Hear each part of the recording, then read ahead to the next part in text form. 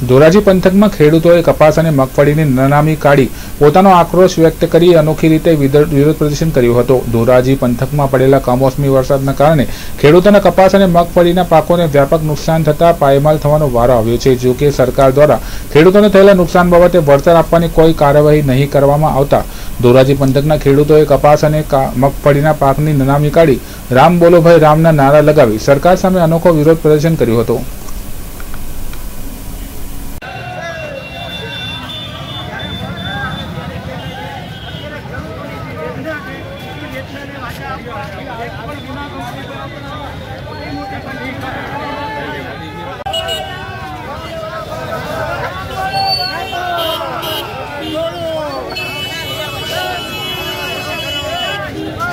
Hello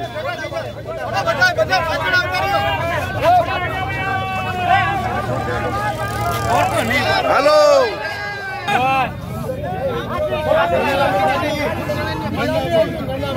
હાલો રેડે ઉતારો.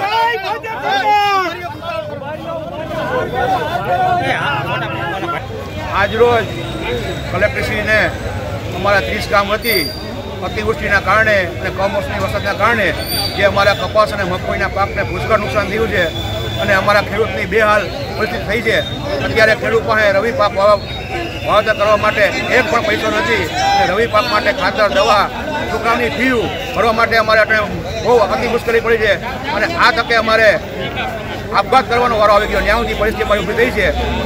આજની તારીખે આપણા આ વિસ્તારના નેતા, સાંસદ સભ્યશ્રી કે ધારાસભ્યશ્રી કોઈ ખેડૂતની વેદના સમજવા પધાર્યા નથી અને કોઈએ પણ આ પ્રકારની તકલીફ લીધી નથી.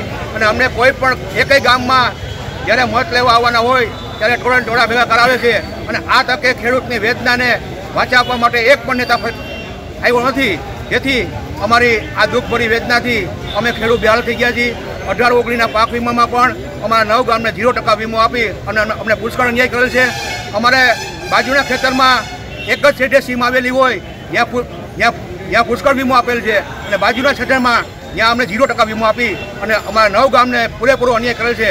તો આ આ તકે સરકારને અમારી ખાસ નમ્ર વિનંતી કે અમારો હિત માટે ધ્યાન આપી અને અમને યોગ્ય ન્યાય આપે અને અમને સંપૂર્ણ વીમો અપાવે એવી અમારી સરકારશ્રીને પ્રાર્થના અને નેતાઓને પણ પ્રાર્થના.